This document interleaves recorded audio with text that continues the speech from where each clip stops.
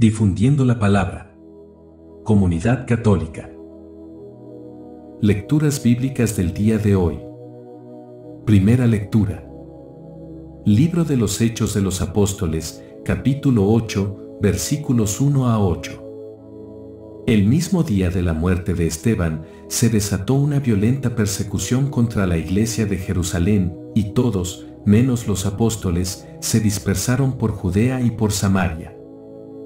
Unos hombres piadosos sepultaron a Esteban e hicieron gran duelo por él. Entretanto, Saulo hacía estragos en la iglesia, entraba en las casas para llevarse a hombres y mujeres y meterlos en la cárcel.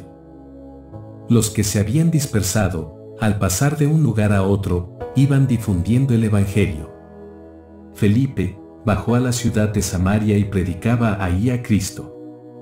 La multitud escuchaba con atención lo que decía Felipe, porque habían oído hablar de los milagros que hacía y los estaban viendo, de muchos poseídos salían los espíritus inmundos, lanzando gritos, y muchos paralíticos y lisiados quedaban curados. Esto despertó gran alegría en aquella ciudad. Palabra de Dios. Te alabamos, Señor. Salmo responsorial. Salmo 65, 1 a 3. 4 a 5, 6 a 7. Que aclame al Señor toda la tierra.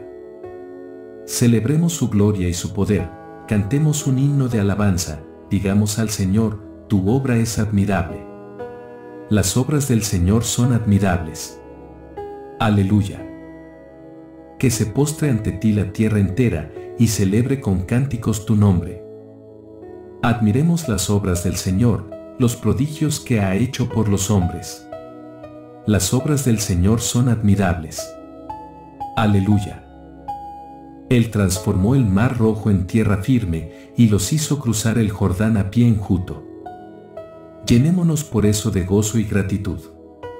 El Señor es eterno y poderoso. Las obras del Señor son admirables. Aleluya. Aclamación antes del Evangelio. El que cree en mí tiene vida eterna, dice el Señor, y yo lo resucitaré en el último día. Aleluya. Evangelio. Evangelio según San Juan, capítulo 6, versículos 35 a 40. En aquel tiempo, Jesús dijo a la multitud, yo soy el pan de la vida.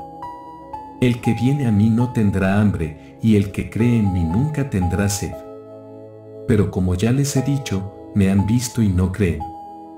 Todo aquel que me da el Padre viene hacia mí, y al que viene a mí yo no lo echaré fuera, porque he bajado del cielo, no para hacer mi voluntad, sino la voluntad del que me envió. Y la voluntad del que me envió es que yo no pierda nada de lo que Él me ha dado, sino que lo resucite en el último día. La voluntad de mi Padre consiste en que todo el que vea al Hijo y crea en Él, tenga vida eterna y yo lo resucite en el último día. Palabra del Señor. Gloria a ti, Señor Jesús. Déjenos su petición en los comentarios. Si le gusta nuestro contenido, por favor, compártalo. Dele un me gusta, suscríbase al canal y active la campanita. Gracias y bendiciones.